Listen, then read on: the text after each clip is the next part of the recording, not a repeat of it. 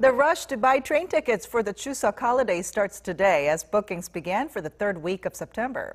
The Korea Railroad Corporation says it opened online and offline bookings for certain areas of the country, including Daegu City, Chungcheongbuk-do Province, and parts of the East Coast on Tuesday, while tickets for Honam, Jeolla, and Gangneung can be reserved from Wednesday. Tickets can be booked from 7 a.m. to 3 p.m. through Korail's website or from 9 a.m. to 11 a.m. at designated railway stations and travel agencies. Korail says reservations will be on a first-come, first-served basis and that individuals are limited to buying a maximum of 12 train tickets each.